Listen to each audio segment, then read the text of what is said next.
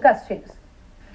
Em pleno estádio Miguel Vaires Filho, o Milan levou uma goleada que começou aos 28 minutos de jogo, quando o atacante Marlon fez o primeiro.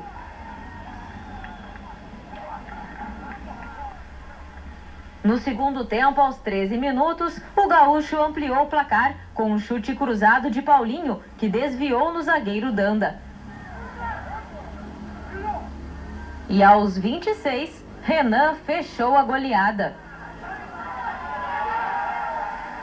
Gaúcho de Passo Fundo 3, Milan de Júlio de Castilhos 0.